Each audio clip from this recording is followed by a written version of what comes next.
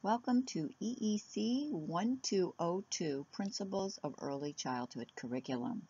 This will be a journey into everything you wanted to know about early childhood curriculum.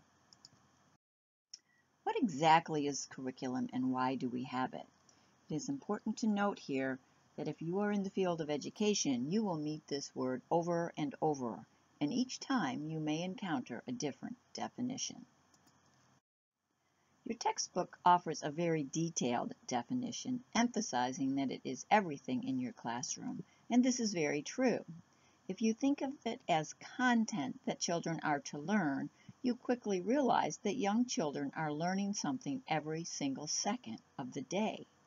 You will find that we often don't write all of those things down, like learning to take turns talking at lunch, or saying excuse me when you bump into someone, or giving your friend a hug when they say that they are sad.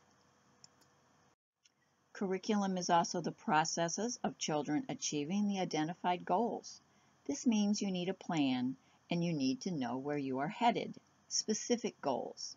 We have the Florida Early Learning Standards to help us with that.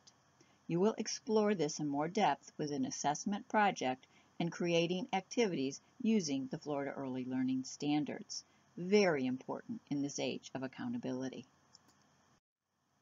Curriculum is also about us as teachers. What do we do and sometimes don't do to help children achieve the identified goals? We'll read about hidden curriculum and environmental factors, things that we can control.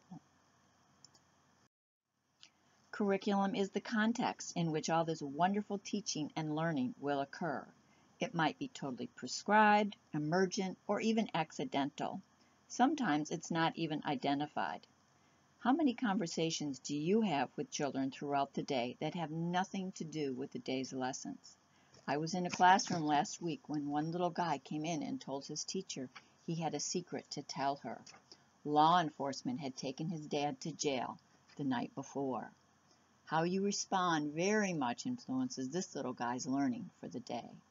I'll just bet it was not on your curriculum plan for that day. Curriculum is very complicated and complex. Many of you work with prepackaged curriculum. You just follow the teacher's manual. Nothing wrong with that. Just understand why you are doing what you are doing.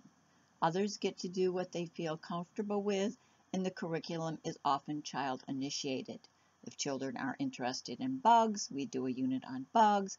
If one child comes in with a broken arm, you might do a unit on anatomy. Next week, we study observation and assessment. Then comes lesson planning, all fundamental skills for implementing curriculum. It should be, it should prove to be a very productive journey. Welcome aboard.